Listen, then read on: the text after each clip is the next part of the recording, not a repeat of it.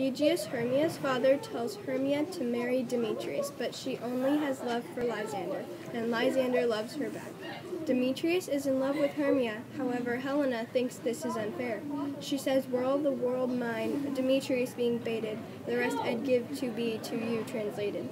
Oh, teach me how you look, and with what art you sway the motion of Demetrius's heart. Lysander tells Hermia that God lives inside backwards. They both plan to go there and marry. Lysander says, and to that place the sharp Athenian law cannot pursue us.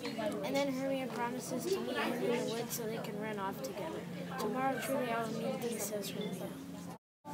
Lysander and Hermia tell Helena about their plan to run off into the woods.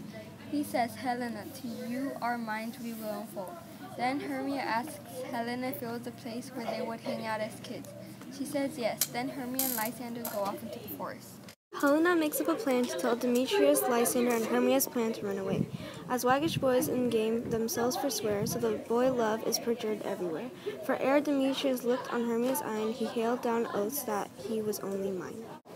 Helena's chasing Demetrius into the woods. She loves him, but he's over her. He's very annoyed and wants her to go away. I love thee not, therefore pursue me not. Where is Lysander and fair Hermia? Demetrius.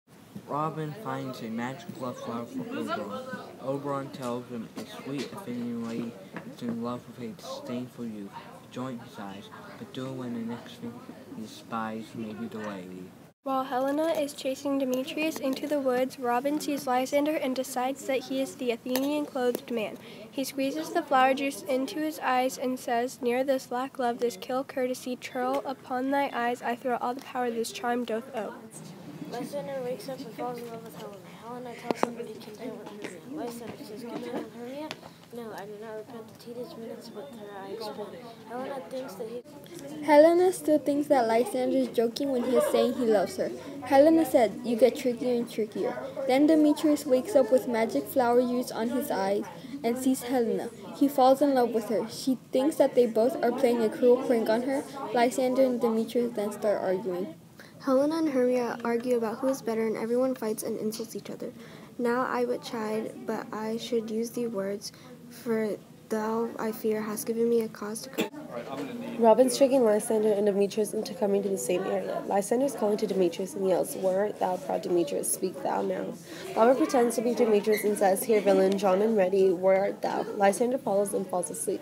Robin pours a potion in Lysander's eyes. Once he sleeps so soft, loving Helen back to loving Hermia. Robin saying, On the ground, sleep sound, I'll to your eye gentle lover's remedy. Theseus finds them all sleeping in the woods, wakes them up, and asks what's going on. But my some power, it is my love to Hermia melted as the snow, says Demetrius. Theseus says they should all marry.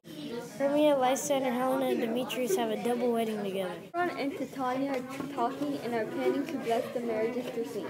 Titania tells Oberon and the fairies, hand in hand with fairy grace will we sing and bless this place. All the fairies begin to sing. The end!